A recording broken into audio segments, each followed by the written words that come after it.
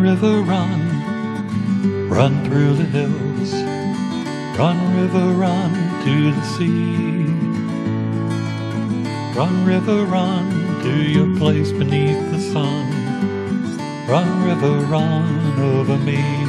Hi, this is Jan Lewis. Welcome to be my guest. Today we have back with us our resident, well, he's a paranormal researcher, investigator. Welcome back, Tom D'Agostino. Oh, thank you. Tom has, ah, for you ghost lovers and paranormal out there, his latest book, he and his wife, hello, Arlene Nicholson, New England's Haunted Route 44. Now, this obviously isn't the book, but this is the cover of it, and it is out now. It's out now, yes. And where can they get it? You can get it at Barnes and Nobles, Amazon Books, all kinds of local bookstores Okay. everywhere, uh, historical societies, you name it. Cracker Barrel. Oh, okay, so it's the hysterical societies too. All right, now, Route 44, we were just talking about that. I used to live in Bridgewater and Brockton. I lived in Kingston near Plymouth. I've been everywhere. Hmm. So 44, I remember that going through. Hmm. What about Bridgewater? I got to ask you that. You know, I lived in Bridgewater, and there's this big thing about there being some sort of a Bermuda Triangle in Bridgewater. Bridgewater Triangle, yes. What is it? It's an area that was mapped off by a man named Loren Coleman in the 70s, and it because of this one area, it, it encompasses several towns, including Bridgewater, Rehoboth, and that type of thing, and it's uh, known by like the Hockomock Swamp in there, which is a huge swamp, and the indigenous people actually called it Hockomock, which means place where spirits dwell. Yeah. So f- people have seen um, Bigfoots there. They've seen other kinds of cryptids, uh, giant thunderbirds, all kinds of like Yeah. wild things. Puckwudgies, which is another Indian lore, a little creature about two to three feet tall, and uh, it's just a place where strange things happen. Very strange things happen. Have you guys gone down there and investigated it? We've all? done some of it, yeah, yeah, in some of the places because it's so big, you know, you, you never know what's going to happen. There's actually, um, I forgot which town now it is in, but there's actually a Puckwudgie crossing sign in the road. Is it a? Is it near the state ho- uh, criminal oh, the prison? mm, not that one. I don't think so. No, Okay. but I couldn't pic- picture where it was because I know the center of Bridgewater, Bridgewater State College. We used to live right there, Mm-hmm. and then you kept going down one road out, kind of towards the woods and towards another town, and it's got to be off there in the woods. yeah, it takes you to Dayton, um, Freetown State Forest. Yeah. Yeah, that kind of thing's in there. So Freetown, that's oh, that's where the Puckwudgie thing is in sign in Freetown. we have, you know, there's a Blackstone Valley Express comes out well about once a month. Mm, you yeah. can find it. I mean, if I go to Shaw's, I keep looking at the out the lodge, the lobby to see if it's there. Do you know exactly where it comes out? Uh, different areas. I don't because we we live in Putnam. Um, there's one store that it goes to, and it's going, you know, instantly. So I have to just go online if I want to see anything. I wish they could mail it to me, for heaven's sake. Oh, I yeah, love that. could. But I don't know if they will. Now, this caught my eye. This was August. Where are, this is his, his column, where are the remains of Rhode Island's first settler? A mystery in two parts. Now, this guy was Reverend Blackstone. Tell Yeah. us about this. Reverend William Blackstone actually. Uh, he founded Shawmut, which later became Boston. Yeah. Uh, and what happened was, when he settled, he came over like with the Gorges Expedition. Most of those people went back because you know they, they come in here. They didn't have like you know Lowe's and, and Home Depots to buy things. They had whatever was here. They had to live with, build uh, you know huts or whatever. So he was more than happy because he loved being alone. So he lived with the natives and everything. And then, um, as more and more people came from England and that, that area, uh, they started settling with him. He sold his property, which is now the Boston Common. Yeah, I think you said he was like a hermit. And then he got Yeah. married later in life? Yeah, and then he then he just got his white bull, which that's what he rode, and his library, which was the largest in the colonies, and he went over to which is now Cumberland, Rhode Island, Yep. Settled in Cumberland, Rhode Island, one year before Roger Williams would settle. See, he was a Roger Williams settled a colony. Mm-hmm. He was just a lone hermit, and yeah, he got married much later in life, And they had a son. and they had a son. Yep, and his wife had one also And she before died they got before married. him two years ahead. Yeah, yeah. In 1855, when the saga picks up again, what happened then? Well, he when he died, he was he was great friends with Roger Williams. He was great friend with the local natives and everything. But when he passed away, right around King Philip's wartime, um, they they burned his house, and uh, he was buried next to his bull, and there were two giant cross markers Yeah. to mark off him and his bull. Yeah. And somebody said, well, "This guy was the founder, basically, of Rhode Island. You know, uh, we need to do something." So they they wanted to get money to um, make a nice marker for him and everything. Well, the funny thing, is this monument never actually appeared, and neither did the refunds for the money that they got. but then it would be later when they would actually have a marker for him. They'd actually now made a, a nice stone marker for him, and they buried it. They found his remains, and they buried it under the marker. In Blackstone. And, and at Cumberland, actually. In Cumberland. Yeah, He's in Cumberland. right along the Blackstone River. Yeah, Yeah. where Ann and Hope is.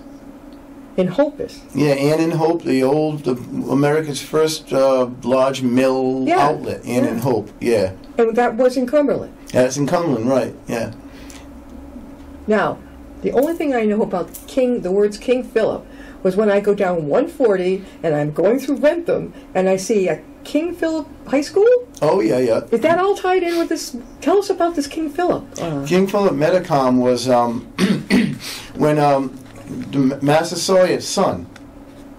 Um, Massasoit just means great chief, actually. And what happened was uh, Wins, Jonathan Winslow and Massasoit were best buddies, but when Massasoit died, Philip and Alexander, the two sons, um, that's the names they were given. Alexander became king, but he was poisoned, they think, on his way back from Who do you uh, think Plymouth. Well, they, uh, he went to talk to the Plymouth Bay Colony, and Josiah Winslow, now Jonathan Win- Edward Winslow's, I'm sorry, son, Josiah Winslow wanted land. That's all he wanted, he, could- and they kept taking land from the you know, natives, the indigenous peoples. And when he went to talk to them, he came back and he, and he died. He was got very sick, and they, uh, Metacom or Philip thought he was poisoned. And at some point, he said, "Enough is enough." we don't have any more land, um, uh, we're starving, you took all our hunting grounds, you this and that and the other thing, and the m- moves. And so he started a war to eradicate the English from, but why did they call him King Philip? because Philip was the name, Metacom was his real name, but he, he for better um, negotiations with the Mass Bay Colony, he had his name changed to Philip.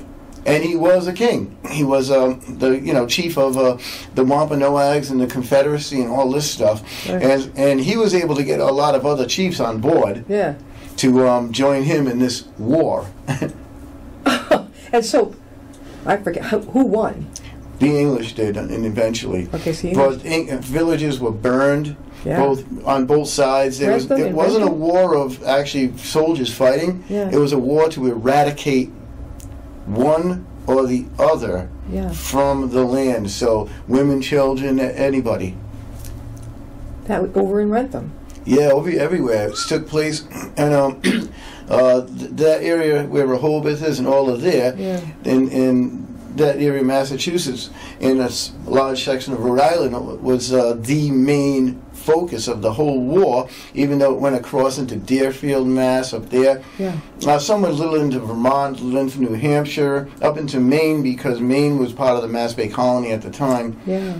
But the it was, it was a very big concentration. Providence was burned, Warwick was burned, Mendon was burned down, um, Brookfield was burned down. They called it Quaboag. Yep. Yeah, these whole towns of uh, Springfield burned. God, what about Wilbraham? I go, nope, they didn't. No, they probably didn't even exist at that point. no, pro- not that I know of. Anyway. What are you and um, your wife uh, looking into right now? Usually you're into an investigation and you're in the process of another book. What are you up to with now?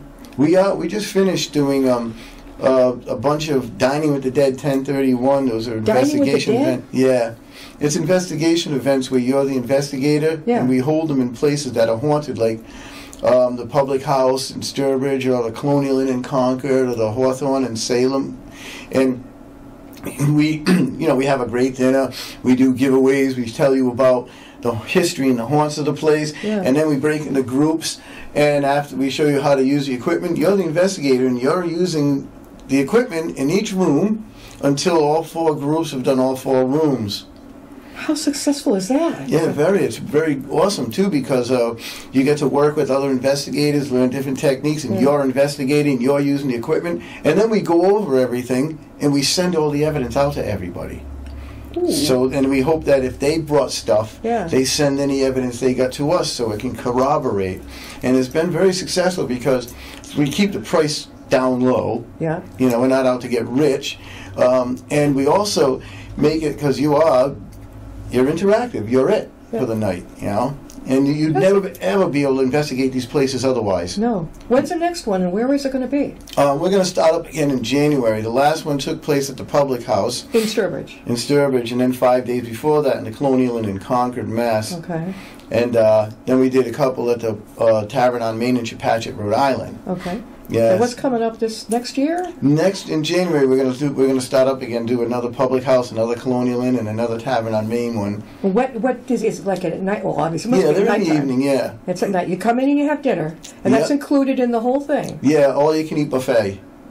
And Well, those places, are, you know, the food is five Mhm. stars. So. Or yeah, one could have buffet. Then after that, you guys tell them about what you're going to do. You're going to go into each room. Right. And you have you, what do they call that? I've seen it on the paranormal shows. What's that thing called? Oh, we got EMF meters Yeah. and K2 meters, and we've got um, ghost boxes and REM pods and REM pods that look like old-fashioned candles Yeah. because you know that, that's more. Yeah. Uh, Darlene uses tarot cards. We show you how to use the dowsing rods. Um, you can use pendulums and mats. Um, the the grids. We got everything. Dowsing rods, but isn't Yeah, that to find like on a beach to find the rings and stuff? Yeah, but it, it, it looks for energy actually. So it, Oh, it does energy too. Yeah. So um, we've had in cases where we've had four or five people holding the rods, and if someone asked a question, and they all went in one direction or the other direction all together, but the people weren't facing each other. No. So they can't go look. Oh, he went that way. Okay. They're not even facing each other, so they can't see what the other person's rods are doing. And at the very end, when you're they're all done, you all come together, back together, Yeah. and you talk about the results. Yeah, we talk a little about the results, and then we'll go home and go over all the evidence because we're we're filming it and we're recording it at the same time. We have the recorders. We use the best digital recorders, and we actually use ni- reel-to-reel recorders from the 1960s. Real to real. yeah, reel-to. Like the reel. kind my dad had of our family. It's still the best But they- recording medium in the world. but they crippled all up. They got all. You couldn't revive them. Yeah, well, we got we got a bunch of them. I, I was able to buy some And they're in reel-to-reel tape, condition. and they're in good condition. Yeah. Huh. We're talking with Tom D'Agostino. He is a paranormal uh, researcher and he is an investigator. And Tom, if they would like you to come and give maybe a presentation, talk about your book, whatever, how can people reach you?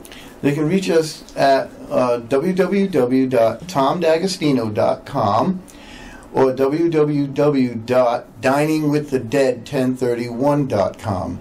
Either one will take you to uh, where you can contact us. Now, don't be scared by this dining by the dead, because as he was just telling us, it's like let's say you're at the Sturbridge Public House, you have a nice dinner there, right? And, um, and then they go into the different rooms. You could take the, the ghost hunting material, all this and that, Yeah. and at the end they come together, and Tom will share with them, okay, this is what we've got. This is pretty interesting. I mean, I would think, you, how many people do you draw? Well, we, we keep it down to like 50, 52. Wow. Th- that way, uh, Yeah. when we break into the four groups, the Yeah. groups are smaller and it's a more intimate experience. Yeah. Because we could have up to 100, but we, Oh, not at all. I'm I- sure. We don't want that. They don't want that. So we keep them small. Yeah. And and the best part about it again is, if we like say do the public house, we get the stables, we get the very haunted room 40, we get the ballroom, all these places you would never ever be able to investigate on your own. Yeah. But we get them when we do the Colonial Inn. Uh, they give us like the um, the Thoreau room and room 24 and room 27, which were the operating rooms in the morgue, and we have those for the night as well. Yeah. So you would never be able to do that on your own. And so that's what makes it even more you go back to exclusive. Sturbridge each time or the public house? Do you get the same results or very often very different results? Sometimes the same, Yeah. and sometimes a little different. But we do get a lot of the same things, like the same names. Like Becky comes up a lot in the ballroom. Yep, uh, saying help. Um, up in room forty, Arlene has had. She takes room forty. I'll take the ballroom. We've had uh, where she's got the smell of like funeral flowers a couple of times. Just whisks through, and blow right by everybody, and all of a sudden gone. yeah. And um, another woman goes to a woman up there, so it's pretty interesting. It sounds it. You know, when I look at re- when I look at um, Tom, I think of. Did anybody ever tell you you look like a little bit, a little bit like Ozzy, Ozzy Osbourne? Everybody tells Look at that. the outfit he's. Everybody tells that, and and even Jack, I did a show with him a couple of years ago. Oh, his he's son. Oh. and he even said I look like his father. Jack doesn't look a thing like him. no, I know, I think the kids look more like her. Yeah, Sharon, I know yeah. definitely the daughter does. But have you probably seen it? Um, the Osbournes want to believe. Yeah. Oh, that's Yeah. not on often enough. He's in he's in trouble with that Parkinson's. Yeah. You can tell he can't even sit still. I thought that was so, off. he's all over the lot with the Parkinson's. Uh, that's a very clever show. But did he move? Did they moved to Britain? He, he got sick of, Ma- of the United Yeah, States. Yeah, they moved back. They got got- sick of living in I don't blame Los him. Angeles or what's, whatever. What's going on? He got fed up with all the ta- the stress. So he's got now. that, that's not a ghost. That's his cell phone. Is it- is it- Yeah. Okay. Now you have your next book coming up, and that's called again what now? It, the book, the next book that's coming out, which will be next year, it'll be coming out, Yeah. is Ghosts of King Philip's War. Yep, that's the one about we were talking about King Philip's Yeah, War. and you can go to visit all these places that are supposedly haunted or have legends, and it's got a lot of old, older legends and cool stories, and Yes. you know, just haunted little sites and, and memorials and mockers. It's, it's excellent. It's really awesome. Where are you going to be appearing coming up? Let's say in the beginning of the first year. Where are you going to be besides doing the uh, the public house and that type of thing? Are you going to be on radio? You've been, said you've been on what Fox something TV. Yeah, we um we did a television episode for Fox Nations called Fright Night.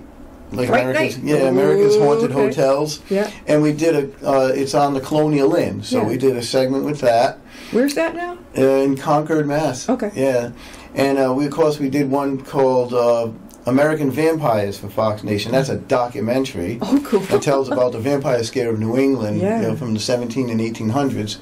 Um, and we did an episode at the Public House for a place, a show called Doc Echoes, Doc which is, I think they're on going to be on Amazon Prime starting in 2024. Now I know that a couple years back you were on WBZ Yeah, with what I can't think of his name. Dan Ray. Dan Ray. Is he still on? Oh, every night. I still listen to him every night when I'm Yeah. on the way home from my store. If I'm, you know, I wish they hadn't gotten rid of. Um, I was I preferred more the guys like around midnight and on. Oh yeah, What was his name? He there's was a uh, Morgan show. White. Morgan was good, but there was another guy before. Ga- uh, Uh, he was like lightweight. They had that famous. You must know of him. Um, oh, he was. He's a historian, not paranormal, but historian. And I can't think of his name, but he was always on the show. But see, I'm a night owl, so I would go to sleep listening to all this stuff. when you were on Dan Ray, I had to have missed you because you were on earlier, right? right, yeah, from eight to ten. Now, have you been on over at? Uh, have you been in Worcester at all? WTAG? No, I haven't. No. You Get yourself No. on there. That'd We, be we did one for WBZ Television last uh, on on October 30th. You did? With yeah, uh, and um, that was pretty wild because it was in, it took place in room 27 of the Colonial Inn in Concord, and the uh, spirit box actually spoke to the girl who was hosting the little show. What did they think?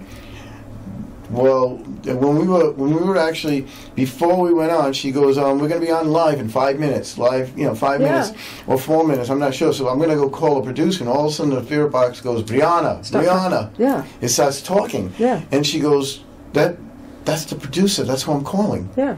And then um, she asked if it was Colonial Inn or Concord Colonial Inn, and the spirit box was both, and it is called both. Yeah. And then when we were on on live, uh, she puts the mic up to it, you know, see if it's saying anything. Yeah. And she goes, "Well, I guess the spirits are camera shy. They don't want to, you know, talk on camera." And thing goes, "Sorry." Oh, It did? It's yeah.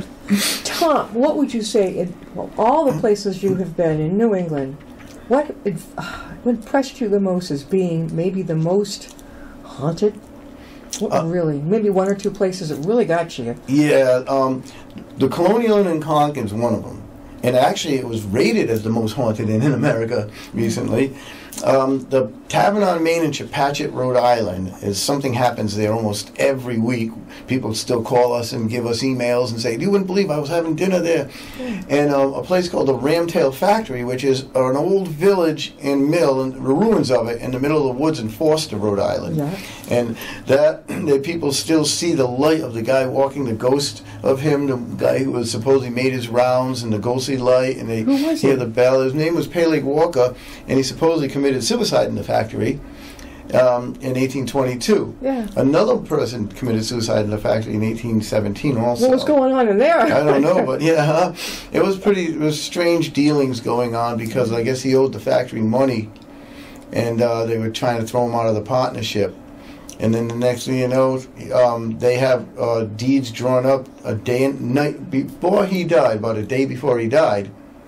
But they're drawn up at quarter to one in the morning. Yeah. And back in 1822, all you had was candlelight, and who the heck would be up at that hour? okay. Yeah, you know. Yeah. They all had the farm and whatnot. Yeah. And then he was found, you know, on the Sunday he didn't show up for church, and they where Yeah, is they he? And knew. They found him dead. Boom. Yeah. Were you, as a kid, were you into paranormal then too, Tom? Oh yeah. Yeah. Big time. Oh, yeah. Were you like the only child or one of many? No, we're one of nine. Nine? Yeah. Oh, your poor mother. Were you the baby? I'm in the middle. You're the middle child. Yeah, I'm about the Were middle. you the only one who was into paranormal? No, my brother Donald is into it. He's the next older, Yeah. and my sister Yvette and my sister Mary are into it as well too. Oh my God. Not, Yeah. not, not your parents, no, but grandparents, nothing like that. No, they no, they never were like my mother loved to watch the shows too, Yeah, but yeah. you know whatever little one they, there wasn't too many back then. I think Leonard Nimoy did one in the seventies and stuff Oh, like that. Leonard Nimoy, Yeah, oh. so it wasn't like you know like they have today. Every turn channel you turn, Yeah. boom, boom, boom, boom. Oh, I know, haunted this and that, but Yeah. uh, I love that Osbourne. Oh my God, I love yeah, the that. Osbournes want to Um, believe. what was I going to say? Oh golly, it just went right out of my mind. Oh, oh, I know. When you left high school, did what was your direction? What did you think? Uh, let's see. Well, we had a family business. So I was helping that, but I went to college just uh, to see what I wanted to do. Yeah. yeah. And um, but uh, two years out of high school, uh, you know, I was in um, college studying just um, d- different stuff. I was also doing a trade school, going to trade school for auto mechanics, and I wanted to be an auto mechanic. That's and that why you're good with your Toyota. Yeah, Okay. I fixed my own cars. Yep. and but a few years after that, when I was in Rhode Island College, and I stayed in a house, it was wicked. I mean, unbelievably haunted. My friend bought it, but he wasn't living there. He just was going to flip it. But he said, hey, if you want to stay the winter, I need someone to just watch the piping and make sure, you know, it's so nothing bad happens. So I said, I'll move in. And I lasted six days because the stuff that was happening in that house was insane. And that's when I started studying, along with political science and things, I started studying like physical sciences, esoterical sciences like meteorology and um, astronomy and philosophy and everything, uh, sociology, just to see where, why or what, what does, why does this happen? Yeah. Is there any explanation that may be gained from any of or all of those? And you so, know, what did you do? You were there. What did you hear? What did you feel? Um, well, we saw one night, we saw something in the living room standing there glowing. And another night, um, when we, a few of us were hanging out at the top of the stairs, something, we were at the third floor, and something just blew the door open and started bolting up the stairs. We thought it was some lunatic, and all that blew by us was wind. Yeah. We'd hear noises like people moving the, what was left of the furniture le- that was left over downstairs. Yeah. And we put powder on the floor, and we'd hear the noises, but yet we'd go the next day and the powder was undisturbed. Things like that. Um, we, we voices uh, that, that one time it sounded like the kitchen table was overthrown, and we went running in there, and nothing. But it was loud. It was so loud. We And were you. outside. We that heard it. Got you, and you knew. So you were were you still in college at that time? Yeah, yeah. So at that point, did you decide the heck with what I'm doing here in college? I'm going into this. Uh, not yeah. At the same time, that's when I started studying other things, and I wanted to study more to understand why is this happening, and why are we hearing this or things like that happening. But yet, um, you know, it's you, you're like, there's no explanation for it, and then nobody can say, well, you know, okay, uh, until we can sit down with like Elvis and Jim Morrison, you know, Yeah, that yeah. is if they did, uh, or have a, invite a ghost to dinner. Yeah. We don't know what's going on. So I kept continued to study, you know, my political science things, but those, those electives you got to take. I chose all those other things for electives, Yeah. and um, at that point, you know, I, I was also teaching music, so. Wow, what a lot of talent going on. You are kind of an entrepreneurial personality too, which I relate to because I am too. I mean, we get so many ideas, right? Yeah, That which one do I run with next? yeah, right. It's sort of like taking spaghetti and throwing it against the wall and see if it sticks, right? Tom, how can people get a hold of you? They can contact me at www.tomdagostino.com. That's D A G O S T I N O. Or www.diningwiththedead1031.com.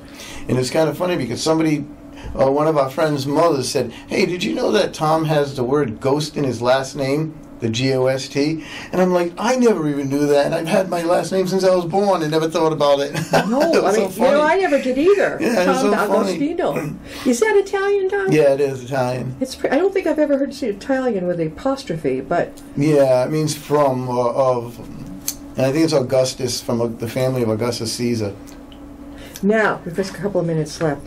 Uh, coming up, okay. So in December, do you have one of those uh, at the uh, public house or anything? Anything coming up in December for people to look forward to? No, because we like to take the holidays off. Everyone's all going nuts and everything, and Yeah. Okay. Yeah. But we have to wait till January. You have to and wait then you'll be at the Colonial House or the just uh, the uh, public house? we'll be doing one at the public house, then the Colonial Inn. You Okay. can, they can look at the Dining with the Dead to see the events as they come up. Yeah, don't be scared by the dining with the dead. You get a nice dinner. It's, it's just a way of putting it that Yeah, you're going to go through looking in different rooms for yeah, the just different. yeah, You ever investigating. have people who just like, I can't take it anymore and leave? We had a few people freak out before. Yes, cer- certain things that happened. One time, a, a tablecloth just lifted up by itself off the table, and boom, a few people were out of that room. They were out, gone. Oh, they were gone. Yeah. Ta- um, Tom, is there what is the price of somebody who wants to, to do this with you? The night's about seventy dollars. Okay, and that includes the dinner. And how- Giveaways, we give away twenty something items two t-shirts, books, everything. It's sort of like you can win these like a raffle. Yeah, we give you a ticket when you walk in, and then we pick out the numbers between after dinner and between the breaking into groups. And uh, Sounds good to me. That sounds like how many hours? it's a couple hours. It goes like from six thirty, let's say, to nine thirty. Sounds really good. Are kids all ages welcome? Yeah. Yes. Yes, okay, we do so have a lot of little ones children could come go too. too. They can go too. This sounds good. I mean, hey, grandparents out there, parents, that would be kind of fun. If you have a, a young one who's interested in this, what better, who better to talk to than Tom D'Agostino? Because are you going to be on TV coming up at all besides here? Do you have anything yet? Yeah, just that Fox Nation. Yep. and um, so two Fox Nations, the um, and the Amazon Prime next year, the Doc Echoes when it Fox. What are, the, what are the? Hmm, I guess those channel numbers are different in every town. So. Yeah, they are. But if they go to your site, they'll find all this out. And don't Right, forget, this book is out now. New Yeah. England's Haunted Route 44. This is out. You can get that now at the bookstores. And coming out in December is well, we we're going going to the publisher. It won't be coming out till next year. oh, till till next year. And what's Yeah. the name of it again? The, Ghosts of King Philip's the War. King Philip's War. Yeah. And uh, Reverend. Blackstone's in there because they, they somewhere between moving his monument Yeah. and his bones, Yeah. they lost him. Oh God! They think he, they think the box may have gotten thrown. They into, lost this Yeah, thrown into this uh, landfill in Johnston, or in the dump somewhere. His remains. So that's why he's missing. oh My God. Well, what do they say? At least his spirit might not be missing. There you go. Yeah, And it's got a big are physical. monument. You know, still. Do you ever go to graveyards? Oh yeah. Oh yeah. Those fa- fascinate me. But, you know, some people do um, the graveyard girls. Yeah. Oh yeah. I know They yeah. do all kinds of. Okay, we've got to go. We've got to them back on again. Don't worry. We'll try to get you on next year. There you go. We'll see you Thank next time and be my guest. Thank you.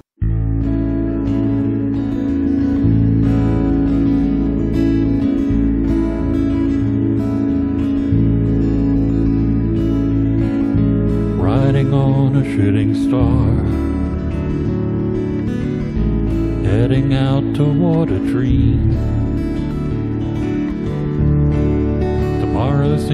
closer than it seems.